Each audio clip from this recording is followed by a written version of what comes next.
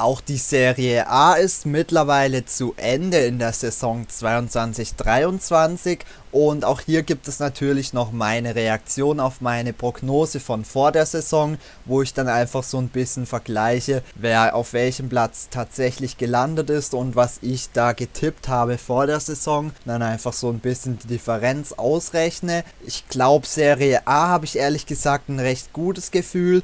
Dennoch weiß ich natürlich nicht mehr ganz, was ich getippt habe, aber von der Tendenz her habe ich eher ein gutes Gefühl.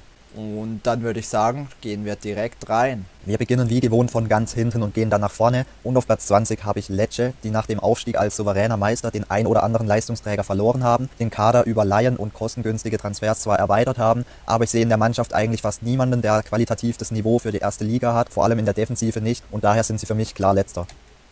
Naja, also Lecce, ja, ich glaube, das haben viele so gesehen. Sie wurden am Ende 16. Sie hatten die Qualität in der Defensive mit Umtiti und Bashirotto, zudem Top-Talent und Kapitän Julemand und dann letztendlich recht souverän die Klasse gehalten. Sind dann letztendlich schon vier Punkte Unterschied zwischen Tipp und Realität. Ja, war eine kleine Fehleinschätzung. Auf Platz 19 sehe ich dann Empoli, die letzte mhm. Saison eine schwache Rückrunde gespielt haben. Der neue Trainer ist jetzt Paolo Zanetti, der zuvor bei Venedig war, die ja bekanntlich auch abgestiegen sind. Der Kader wurde mit Marin und Vicario von Cagliari verstärkt. Ja. Dennoch hat man Viti an Nizza, Aslani an Inter und Ricky an Turin verkaufen müssen. Und daher sind die für mich auf jeden Fall im Abstiegskampf und laut meiner Prognose auch einer der Absteiger, auch weil man jetzt in das schwierige zweite Jahr in der Liga kommt. Ja, ich habe die guten Transfers äh, genannt mit Marin und Vicario, aber sie haben es tatsächlich noch souveräner wie Lecce gepackt, wurden 14. Dementsprechend 5 Punkte bzw. 5 Plätze Differenz haben mich auf jeden Fall schon so ein bisschen überrascht. Nach der letzten Saison erwischt es nun auch laut meiner Prognose den nächsten Verein aus Genua, nämlich ja. Sampdoria Genua, die auf meinem Platz 18 sind und somit auch absteigen würden.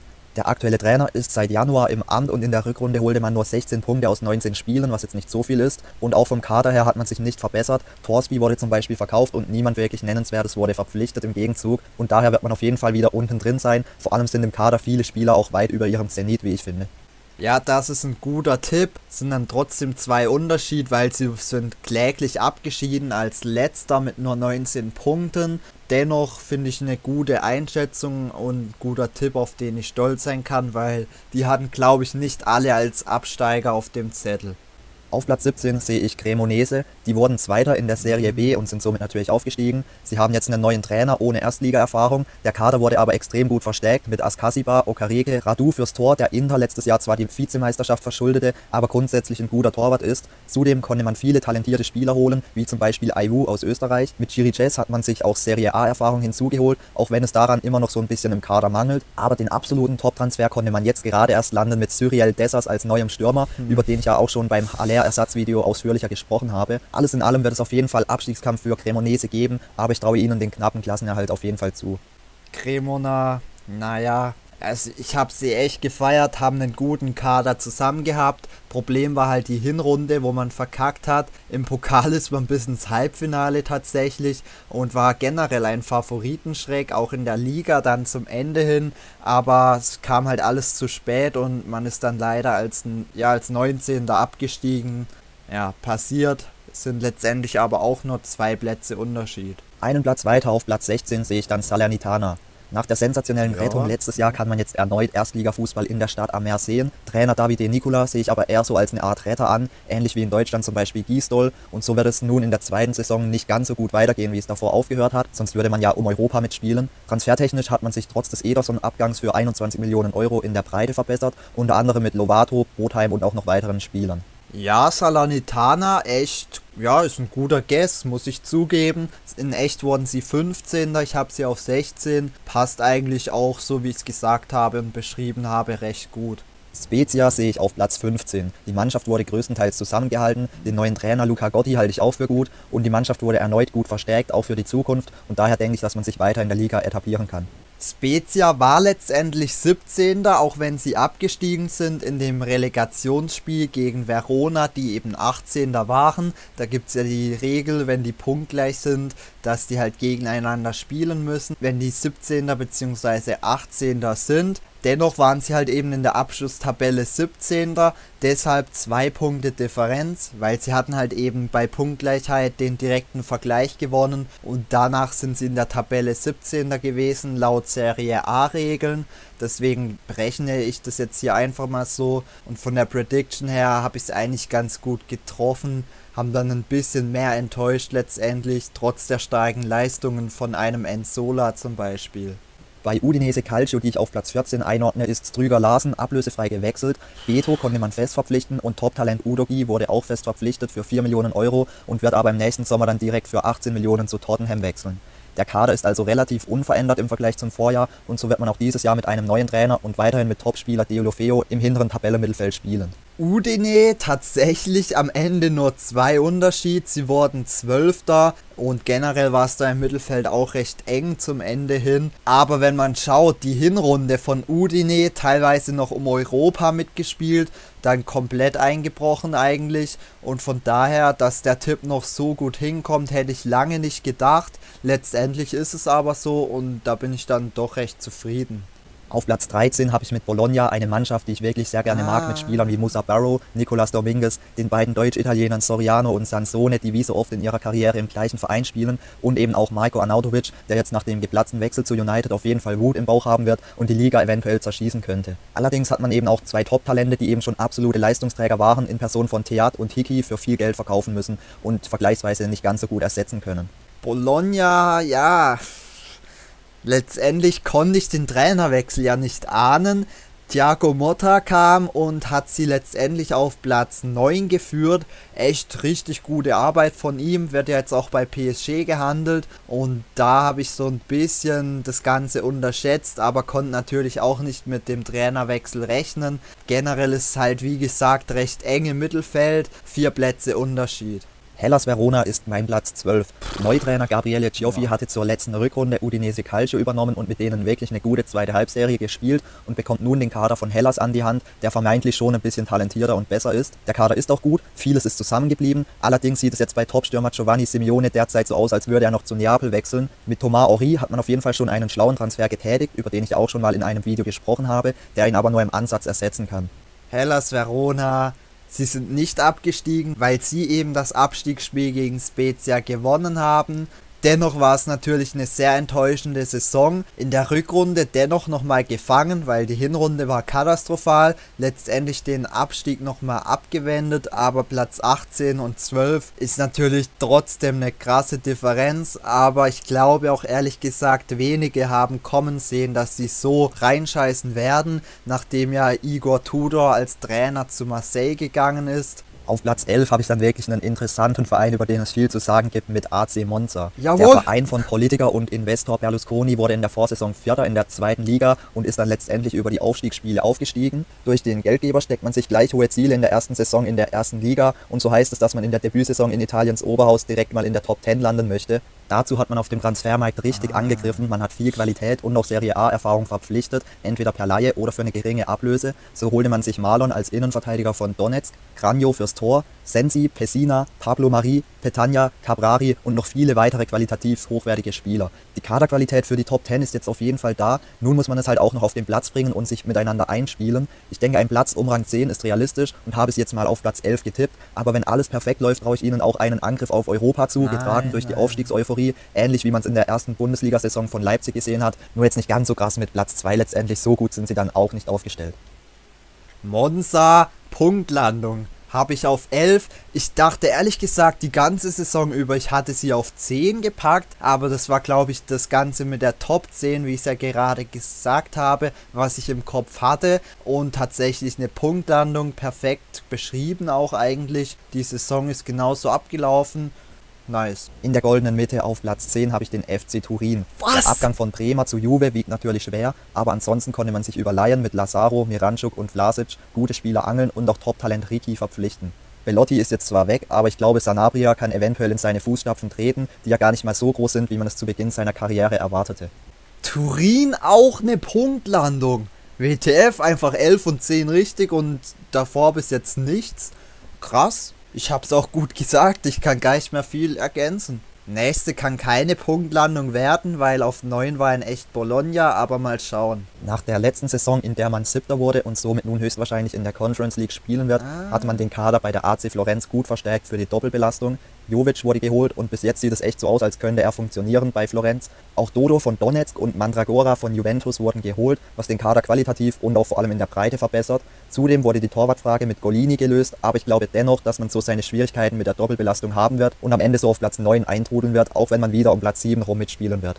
Ja, Platz 7 mitgespielt hat man nicht, aber man war halt eben im Conference League Finale, hat da leider verloren, ebenso wie das Pokalfinale. Letztendlich habe ich sie auf 9, in echt waren sie 8 also eigentlich ein guter Tipp, gute Tendenz. Als nächstes kommt 8. Ich glaube, wenn ich mich recht erinnere, hatte ich da Sassuolo. Die fehlen hier ja auch noch. Und das wäre nicht gut, aber ja. Sassuolo Calcio ist mein Ja. Platz 8. Die gehen nämlich in das zweite Jahr mit dem Trainer. Der Großteil der Mannschaft ist eingespielt, denn nur Scamacca hat den Verein von den wichtigen Spielern verlassen. Drei der überragenden Nein. vier Offensiven aus der Vorsaison sind also noch da mit Berardi, Raspadori und Ahmed. Traoré, wobei Raspadori Ey. noch zu Neapel gehen könnte. Ja, da muss man jetzt mal schauen, er. was noch so passiert.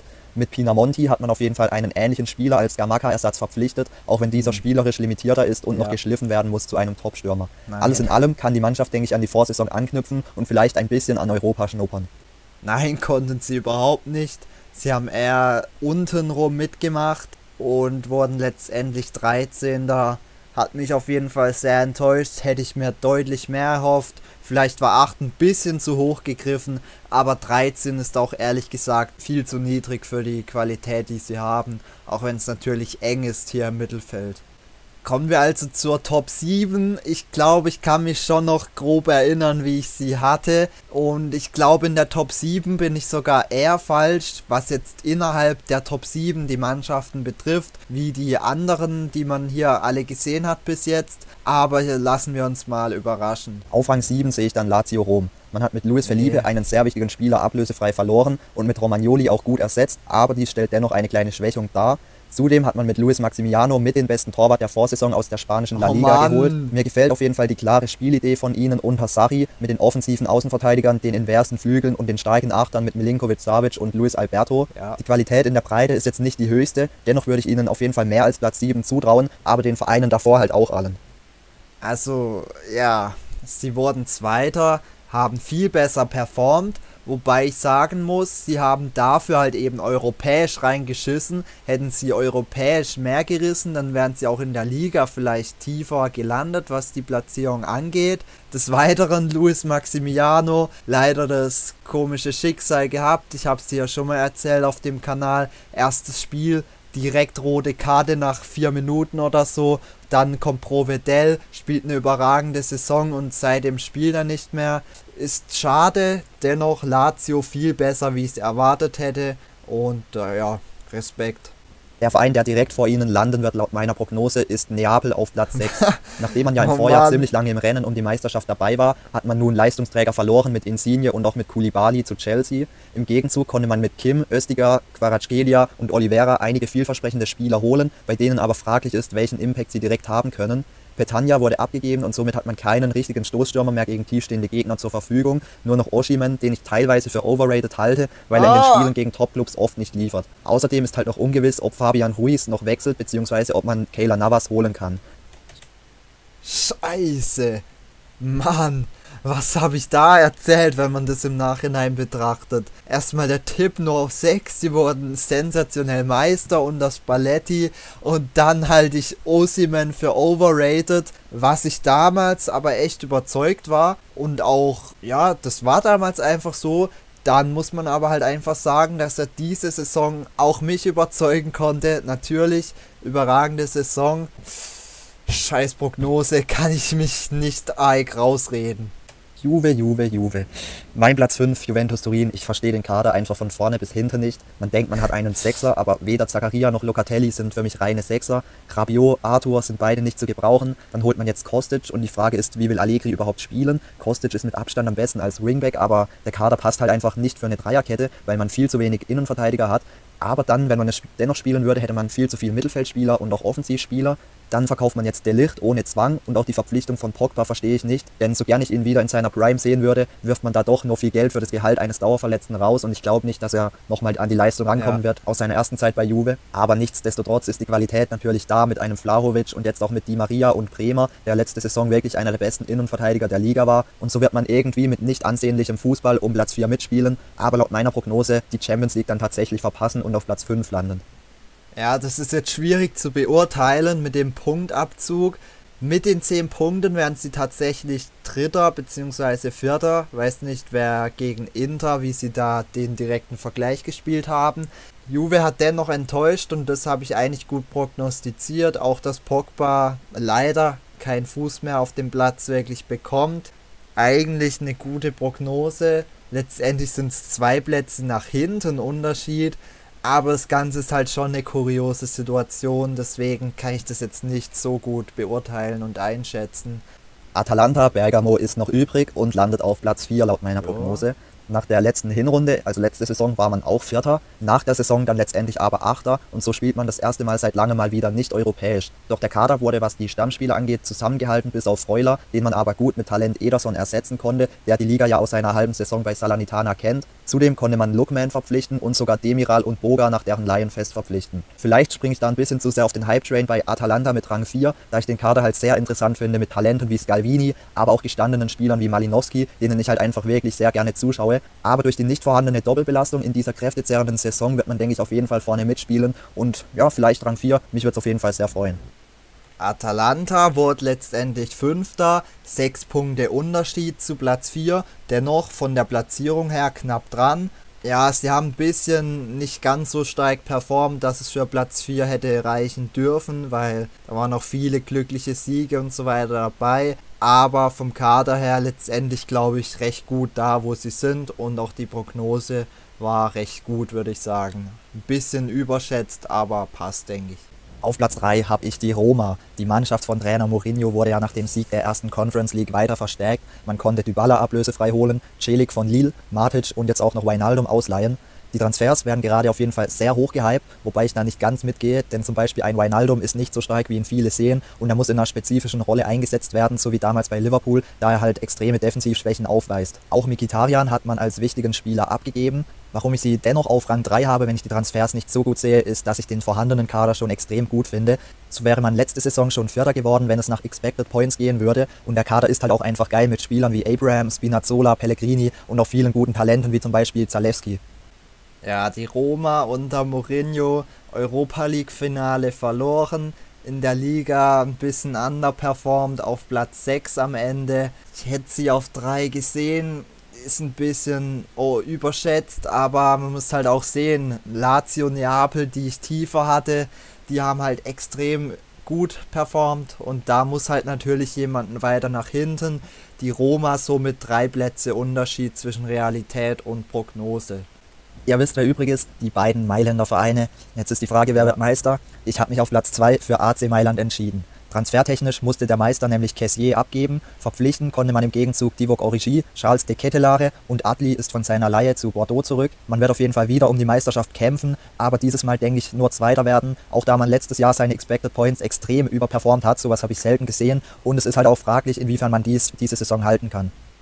Milan auf 2, sie wurden Vierter, hatten einen guten ähm, Champions League Run, hatten aber viele italienische Mannschaften, ehrlich gesagt. Ja, bisschen zu hoch eingeschätzt, aber gleiches Thema wie bei Rom gerade, nur dass Milan halt an sich schon noch ein Stück besser war und dann halt Vierter wurde. Auf Platz 1 der Meister laut meiner Prognose in der Serie A ist somit Inter Mailand. Der Kader ist eigentlich relativ gleich wie im Vorjahr. Es wurde nur Perisic abgegeben, den man aber intern schon gut mit Gosens ersetzen konnte. Ansonsten hat man noch zusätzlich Talent Aslani, Mikitarian und natürlich auch Romelu Lukaku dazugeholt, bei dem ich aber so ein bisschen meine Zweifel habe, ob er unter Inzaghi an seine letzte Intersaison anknüpfen kann, da das System halt nicht ganz so perfekt zu seinen Stärken passt, wie das damals unter Conte der Fall war. Dennoch hat man ja Ceco immer noch als Notlösung da und ich glaube, dass die Kaderqualität auch einfach viel höher ist als die vom AC Mailand, die sich halt letzte Saison so ein bisschen in den Rausch gespielt haben und so denke ich, dass dieses Jahr wieder Inter Meister werden wird, auch wenn mein Mailand-Herz eher für den Rivalen, also rot schlägt. Ja, ja, Inter haben eine schlechte Hinrunde gespielt. Anfang der Rückrunde war auch scheiße. Dann haben sie sich komplett gefangen, haben in der Liga stark performt, in der Champions League haben sie sich auch erst so ein bisschen durchgemogelt, wurden dann aber auch immer stärker und sind dann letztendlich nur knapp im Champions League Finale gescheitert. Also von daher der Meistertipp jetzt auch nicht so verkehrt. Sie wurden ja auch am Ende Dritter. Also auch hier ein zwei Plätze Unterschied. Im Endeffekt kein wirklich katastrophaler Tipp, ehrlich gesagt. Letztendlich ergibt sich eine Differenz der Plätze, wie ich sie getippt habe und wie sie dann letztendlich eingetroffen sind von 54. Also je niedriger, desto besser. Und ehrlich gesagt finde ich das echt eine solide Leistung für so eine ausländische Liga. In der Premier League hatte ich beispielsweise 80 Punkte, ist ja auch eine 20-Mannschaft-Liga, da kann man es besser vergleichen. In der zweiten Liga hatte ich zum Beispiel 82, also viel mehr, obwohl das ja nur 18 Mannschaften sind. In der Bundesliga hingegen hatte ich 37, aber da muss man natürlich auch sagen, sind auch nur 18 Mannschaften. Also meine Serie A-Expertise tatsächlich fast auf einem ähnlichen Niveau, wenn man es umrechnen würde wie in der Bundesliga. Und das finde ich dann doch recht stark am Ende. Ich habe die Top 7 genau richtig, zwar nicht in der Reihenfolge, aber an sich Ansonsten die größte Differenz war bei Hellas Verona mit sechs Plätzen. Ich hatte zwei Punktlandungen mit Monza und Turin und auch ansonsten war jetzt nicht arg viel komplett verkehrt. Empoli, Sassuolo, Neapel und Lazio hatten jeweils fünf Unterschied. Da lag ich schon ein bisschen daneben, aber ansonsten hatte ich echt gute Calls und hab's glaube ich echt gut analysiert und prognostiziert. Das soweit meine Reaktion auf die Prognose von vor der Saison. Lasst mir gerne mal eure Meinung dazu in den Kommentaren da. Wenn es euch gefallen hat, lasst mir sehr gerne ein Like und ein Abo da und dann würde ich sagen, bis zum nächsten Mal, haut rein und ciao.